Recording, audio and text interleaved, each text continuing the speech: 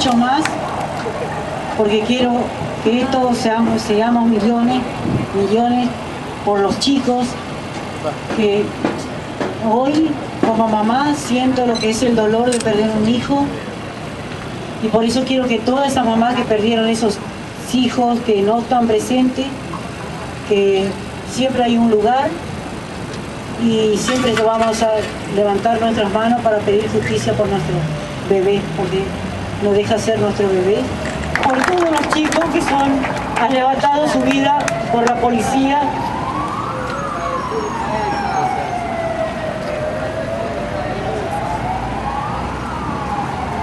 Fuerza, doña. Fuerza, por Ismael Sosa. Justicia por Walter Bulacio. Justicia.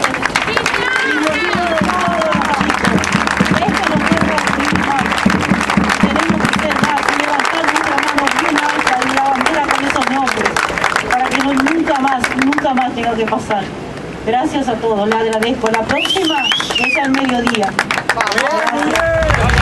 ya desde entrabas, entrabas y no sé si, si es el sexto sentido o qué, pero ya se percibía en el aire que, estaba todo muy tenso. La policía, aparte que primero que te hacían un embudo para entrar.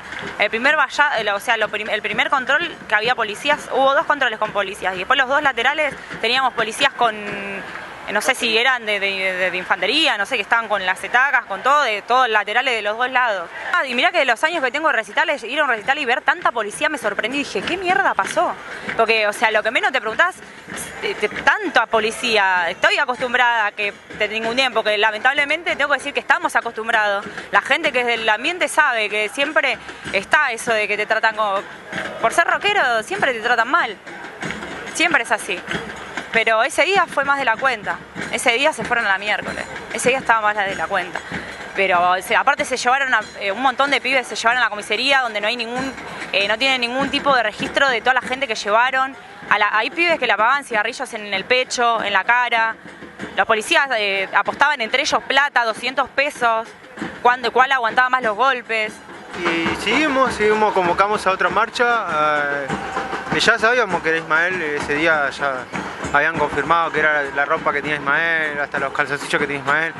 Y convocamos otra marcha para pedir justicia y la verdad que, la gente nos, nos ofreció de corazón, nos vino, se nos ayudó, nos compartió el dolor, otra gente también se sumó que le pasó lo mismo, de gatillo fácil, de corrupción. Y la verdad que está, eh, es- está bueno, está bueno que eso tendría que haber pasado antes, nos tendríamos que haber juntado antes para que esto directamente no le suceda ni que no le suceda Ismael, sino directamente a nadie.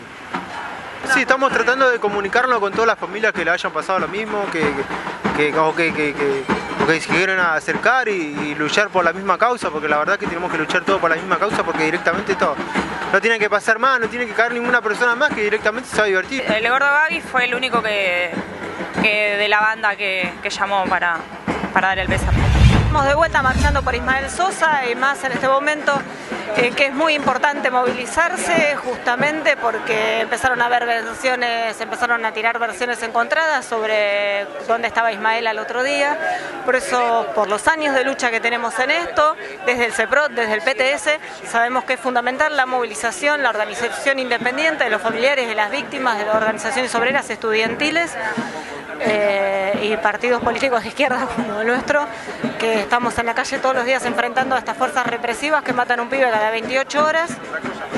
Más que nada en este momento donde se habla de democratizar al aparato represivo, las agencias de inteligencia y lo mismo con las, distintas policías comunales que dicen que les van a enseñar este, distintos derechos humanos o, o los van a hablar al respecto a violencia de género. Y la necesidad de seguir movilizando, de seguir visibilizando un caso que, si bien tiene una trascendencia importante por las circunstancias en que se dio, por las características puntuales del hecho en un recital de una banda de tanta convocatoria como La Renga, es uno de los 44 casos que tenemos incorporados al archivo con posterioridad al mes de diciembre del año pasado. Tres casos de chicos desaparecidos, no solamente Ismael, eh, y en, circunstancias que, que necesariamente nos hacen resonar en la cabeza el nombre de Walter Bulacio, por la vinculación con el rock, porque los pibes lo único que querían era ir a ver un recital,